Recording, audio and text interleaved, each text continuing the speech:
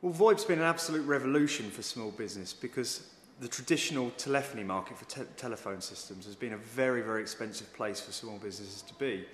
Um, there's a whole new generation of, of software-based telephony systems which give small businesses the ability to have a fully featured rich PBX at probably about a third of the price of a traditional PBX.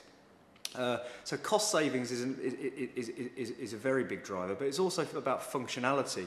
A lot of the features that a small business expects from a phone system in terms of remote working, business continuity, just haven't been in, in the price range for, for a typical SME. And the software-based, VoIP-based telephone systems are making these things available to, to smaller businesses.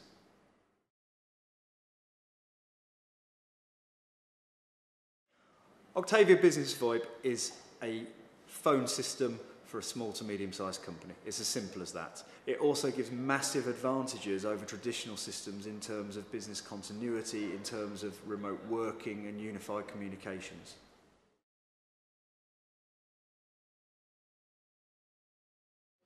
Well, Octavia Business VoIP is a fully featured PBX, very much like the traditional phone systems that most small businesses would run.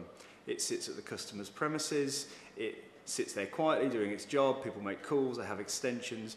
But the advantages are A, cost. It costs typically the third, third of the price of a typical traditional PBX.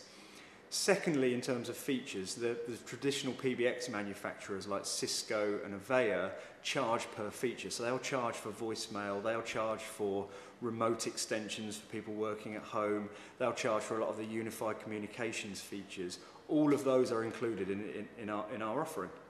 So again, cost, features, and then the third advantage really for small businesses is the business continuity element, and I can't stress that enough traditional phone systems are hard plumbed, hard wired to, to a customer's office. And obviously if they lose that office due to fire, flood or a, eh, a eh, terrorist event or, or, or something like that, it can take them weeks to get their phone system back up and running properly. In the meantime, they have lots of diverts to mobiles and that sort of thing. But with our solution, they can be up and working in minutes at an alternative site.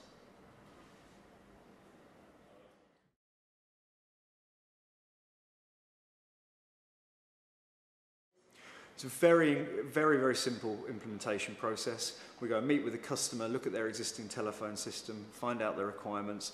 We're typically on site for half a day to a day. We put the handsets in for the customer, we put the system in for the customer.